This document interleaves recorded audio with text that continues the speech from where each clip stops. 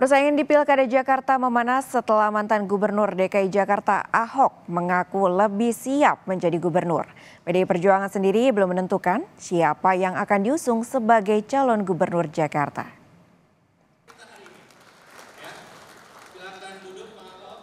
Mantan Gubernur DKI Jakarta Basuki Cahayapurnama alias Ahok mengaku saat ini lebih siap menjabat gubernur dibanding sebelumnya. Namun untuk maju di Pilkada 2024, Ahok menyerahkan sepenuhnya pada PDI Perjuangan.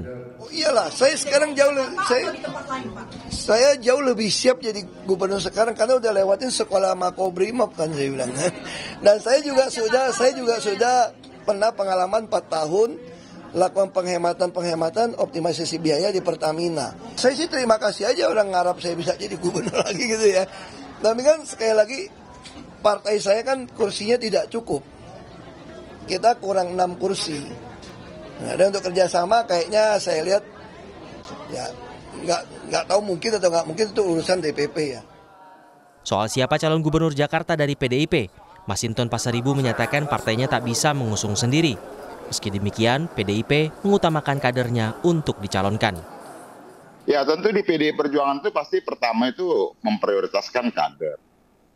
Nah kemudian ya yang uh, tadi kader, nah kemudian ya disesuaikan dengan kondisi uh, realita politik ya di masing-masing wilayah begitu. Bahwa PDI Perjuangan perolehan kursinya ada 15 kursi, artinya tidak cukup untuk mencalonkan sendiri partai.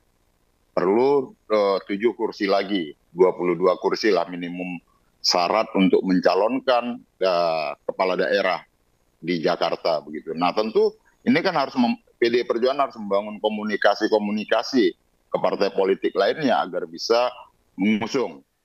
Saat ini PDIP juga menaruh ketertarikan pada mantan Gubernur DKI Jakarta Anies Baswedan. Ya harus realistis bagaimana melihat situasi di lapangan karena setiap daerah itu wilayahnya itu berbeda-beda. Ini eh, kira-kira uh, peluangnya ada di wilayah mana? Ya. Nama Pak Anies juga katanya tertarik juga ya Pak? Iya. Menarik juga Pak Anies. Sejauh ini, Anies telah mendapat kepercayaan dari PKB Jakarta untuk maju memperebutkan kursi Jakarta 1. Guna memastikan tiket pencalonan, Anies berencana menemui semua pimpinan parpol, termasuk Prabowo Subianto. Kami tentu membangun dan insya Allah akan bisa bersilaturahmi dengan pimpinan-pimpinan partai politik. Tentu akan berkomunikasi, berdiskusi dengan pimpinan-pimpinan eh, partai lain, eh, termasuk nantinya dengan Pak Prabowo.